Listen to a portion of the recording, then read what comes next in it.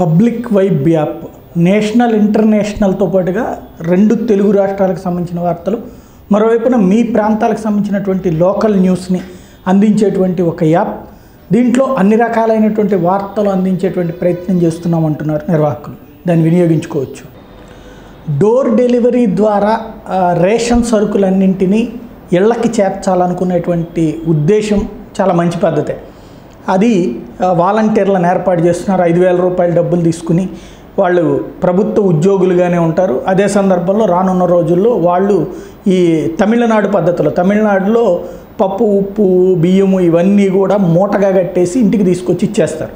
తద్వారా ఏమవుతుందంటే దొంగ రేషన్ కార్డుల బెడదుండదు రేషన్ కార్డులు డీలర్ల దగ్గర స్టాక్ ఉంచుకునేటువంటి ఒక ఇరవై శాతము ముప్పై శాతం ఇది వరకు ఉండే ఈ మధ్య కాలంలో ఫింగర్ ప్రింట్లు పెట్టిన తర్వాత దాదాపుగా ఒక ఇరవై శాతం తగ్గిపోయినాయి. వాటి ఒక యాభై శాతం తగ్గినాయి అని చెప్పచ్చు. ఇంకా యాభై శాతానికి ఆ పా వాళ్ళ దగ్గర ఉన్నటువంటి రేషన్ కార్డులకి తెలిసినటువంటి వాళ్ళతో ఫింగర్ ప్రింట్లని ఓకే చేసుకుని నడిపినటువంటి పరిస్థితి ప్రస్తుతం అది నడుస్తున్నటువంటిది కొన్ని చోట్ల జరుగుతూ ఉన్నది.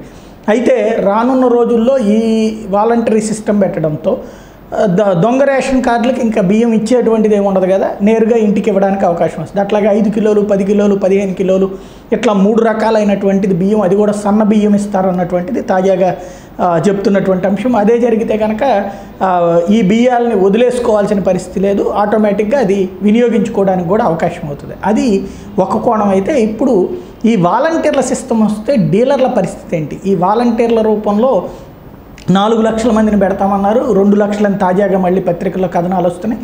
ఇక్కడ డీలర్లు దాదాపుగా ఇరవై తొమ్మిది వేల కుటుంబాలు దీని మీద ఆధారపడి ఉన్నారు. రాష్ట్ర వ్యాప్తంగా చూసుకుంటే ఆంధ్రప్రదేశ్లో ప్రత్యక్షంగా ఇరవై తొమ్మిది నుంచి ముప్పై రెండు వేల మంది అని చెప్తున్నారు. అంతమంది కుటుంబాలకి ఇప్పుడు ఆ రేషన్ వాళ్ళ దగ్గరకు వచ్చి వాళ్ళ దగ్గర నుండి వాలంటీర్లు తీసుకెళ్ళిస్తారా? లేకపోతే నేరుగా సివిల్ సప్లైస్ డిపార్ట్మెంటే ఇస్తుందా? రేషన్ సిస్టమ్ని కనుక తీస్తే ఒక సిస్టమ్ కొలాప్స్ అయిపోతుంది. అది మంచి పరిణామం కాదు. రేషన్ డీలర్లకి ఇప్పటికే వాళ్ళకి ఇస్తున్నటువంటిది ఈ మధ్య కాలంలోనే వాళ్ళ కమిషన్ పెంచారు. అది కూడా లాస్ట్ ప్రభుత్వం పడిపోయేటువంటి ముందు మూడు నెలల ముందు మాత్రమే పెంచుకుంటూ వచ్చారు. బియ్యానికి రూపాయి ఇవ్వడం అనేటువంటిది. మిగతా అన్నీ కలిపి ఆ రాగులు సజ్జ సజ్జలు లేకపోతే పంచదార అరకిలోనే పంచదార ఇచ్చేది కందిపప్పు ఇవన్నీ కలిపితే కూడా ఐదు వందల నుంచి వెయ్యి రూపాయలకు మించి వాళ్ళకేం డబ్బులు రావట్లేదు. వాస్తవంగా చెప్పాలంటే డీలర్లు ఐదు వేల నుంచి పదివేల రూపాయల లోపు మాత్రమే ఆదాయం సంపాదించగలుగుతున్నారు. మిగతా అదేంటి అంటే ఈ ఎవరన్నా తీసుకోకపోతే వాళ్ళకి డబ్బులు ఇచ్చి అది తీసుకుని వీళ్ళు వేరే వాళ్ళకి అమ్ముకుంటే మాత్రమే సాధ్యమవుతుంది. కందిపప్పు అయితే గవర్నమెంట్ దగ్గర ఉన్నటువంటి స్టోర్స్లో కొనేటువంటి వాళ్ళు కూడా చాలా తక్కువగానే ఉన్నారు. అది ఉడకట్లేదని ఇట్లాంటి కాన్సెప్ట్తో డీలర్లు చెప్తున్నటువంటి అంశం. టోటల్గా అయితే బియ్యం మీద మాత్రమే వాళ్ళకి డబ్బులు వస్తున్నటువంటి పరిస్థితి అది కూడా చిన్న డీలరు పెద్ద డీలరు అంటే మధ్యస్థం డీలరు పై పెద్ద డీలర్లు ఉన్నారు. ఈ పెద్ద డీలర్లో కొంతమందిని బెదిరించి వాళ్ళని ఆపించి వేరే వాళ్ళకి ఇచ్చినటువంటి పరిస్థితి ఉంది. ఆ, డీలర్లకు ఒక పెద్ద దరిద్రపు పరిస్థితి ఏమైందంటే సాధారణంగా వాళ్ళు మనుషులే. ఎదురు ఇబ్బ ఏది ఏమి సినిమాల్లో హీరోలేం కాదు తొడలు కొట్టి పోరాడగలిగినటువంటి యోధులేం కాదు. వాళ్ళకేం పెద్ద ఎత్తున యూనియన్లు ఏమి ఉండవు. అన్ని పార్టీలతో కలిసి ప్రయాణం చేయాలనుకుంటారు. అందుకోసం కొంతమంది డీలర్లు ఆ మధ్యకాలంలో తెలుగుదేశం పార్టీతో కలవడం వలన అంటే తెలుగుదేశం పార్టీ చంద్రబాబు నాయుడు మీటింగ్ పెట్టి ఈ డీలర్లకి కమిషన్ పెంచినటువంటి సందర్భంలో ఆయన సన్మానించారు. దాని మీద కోపం వచ్చినటువంటి వైసీపీ ఈ మధ్యన వాళ్ళని దగ్గరికి రానియట్లేదు అనేసి ఒక పెద్ద చర్చ నడుస్తుంది. దాంతో ఇప్పుడు డీలర్ల గోడు వినేవాళ్ళు లేరనేటువంటిది.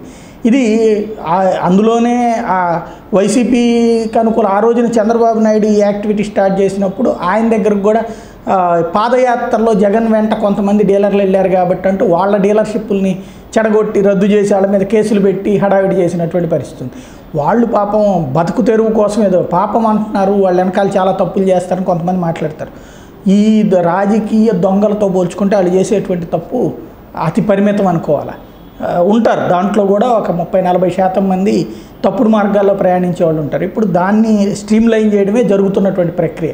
ఈ దశలో కనుక రేషన్ డీలర్లని తీసేసి ఉట్టి వాలంటీర్ల ద్వారా అంటే కనుక అది ఒక సివిల్ సప్లైస్ వ్యవస్థ ఒక పెద్ద క్రైసిస్కి కారణమవుతుంది. అలా కాకుండా అటు డీలర్లకి న్యాయం జరుగుతూ ఇటు పక్కన డీలర్ల దగ్గరికి సరుకు తెప్పించి అక్కడి నుంచి వాలంటీర్ల ద్వారా డిస్ట్రిబ్యూట్ చేస్తే డీలర్లకు కూడా కొంతమేర ప్రయోజనం ఉంటుంది. అప్పుడు వాళ్ళు తప్పు చేయకుండా ఉంటారు సేమ్ టైం వాళ్ళ కుటుంబాలు వీధిని పడకుండా ఉంటాయి. మరి అట్లాంటి మధ్య మార్గ పరిష్కారం ఉంటుందా? లేదంటే వన్ సైడెడ్గా ఉంటుందా? అనేటువంటిది సివిల్ సప్లైస్ మంత్రి చెప్పాల్సి ఉంది. ఏం చేస్తారో చూద్దాం.